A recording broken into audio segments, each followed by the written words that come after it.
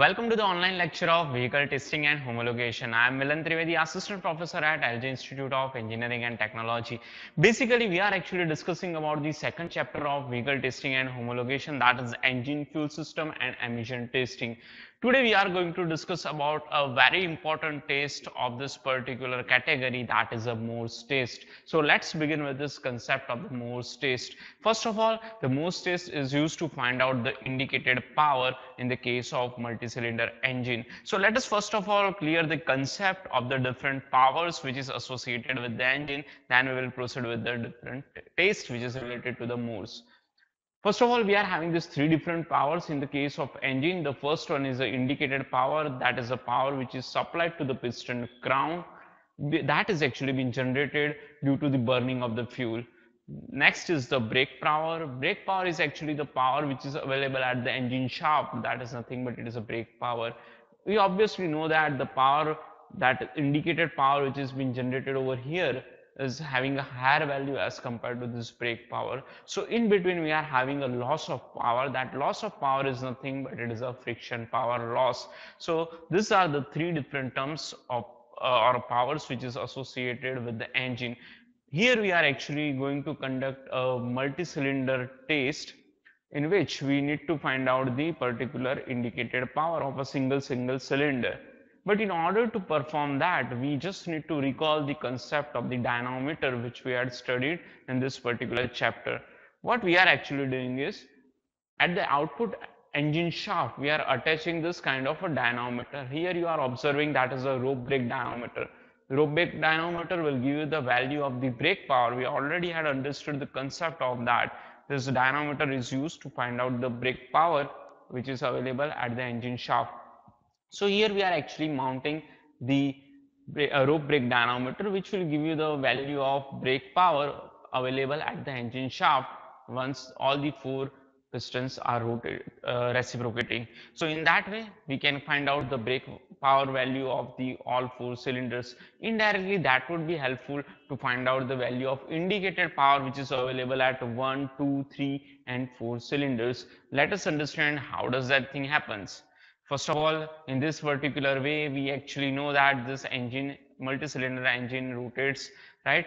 So in this particular process, stepwise, we are going to uh, cut off the fuel injection supply of one and the another cylinder. First of all, uh, let's say example, this first cylinder engine fuel supply is cut off. Later on, we will cut off the supply of second cylinder. After that, we will cut off the supply of third and lastly fourth in that particular way we are going to conduct this particular test.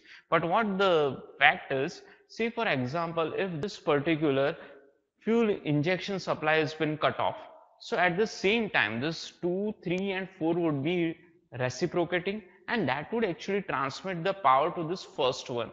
So there would be a brake power which is available at this engine shaft but yes friction power loss would be in all the four cylinders we actually cut off the fuel supply of one but still the piston is reciprocating due to the power which is available at 2 3 and 4 that's why friction power would also be applied in the case of friction power 1 let's say when we are cutting off the uh, fuel injection supply of second cylinder this is uh, second cylinder and we are keeping fuel supply on of first third and fourth. Then in such case also this second cylinder would rotate, sorry, piston would uh, be reciprocating due to the power which is available at the 1, 3 and 4. So naturally friction power would be still applicable. So here I am just going to explain this concept that even if one of the cylinder is or one of the fuel injection is been cut off, but still friction power would be there in all the four cylinders, right? So that is the concept which I was actually explaining. Now let us understand the concept of the Morse test. First of all, this uh, multi-cylinder engine would be there, which is connected to the rope brake dynamometer.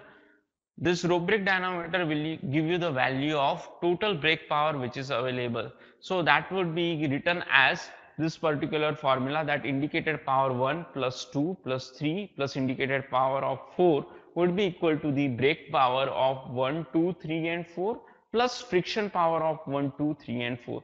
So that would be a natural equation.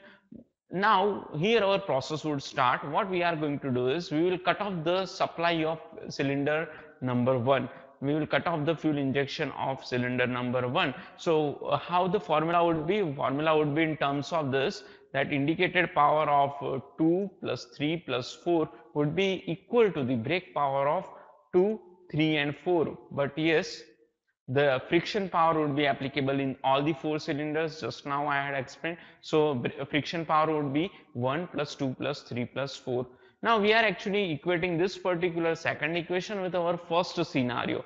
So naturally the equation would be in this particular form that indicated power of 1 would be equal to the summation of brake power when all the four cylinders are running minus the brake power when one cylinder has been cut off. If you subtract that brake power value then you will naturally get the value of indicated power of cylinder number 1 this process we are going to repeat for three more times. Now we will cut off the supply of cylinder number 2 so what would happen is indicated power of 1 plus 3 plus 4 would be equal to brake power of 1 plus 3 plus 4 plus friction power of 1 2 3 and 4 now again we will have subtraction of this particular equation with our main equation. So once you are getting this total brake power and subtracting the brake power when the second cylinder has been cut off, then naturally you will get the value of indicated power of second cylinder. In the same way, you will you can get the value of indicated power of third cylinder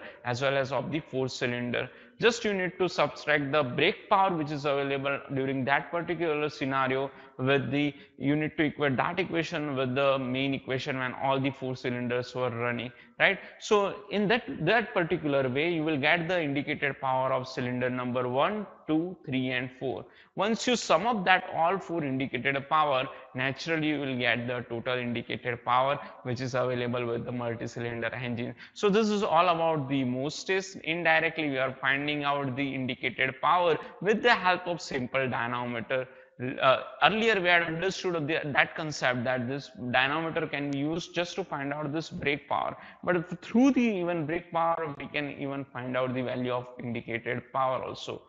So that's all about the Morse test. Now let us understand the Williams line method. This Williams line method is to find out the friction power which is available with the engine. Indicated power that is due to the heat generation brake power that is power which is available with the engine shaft.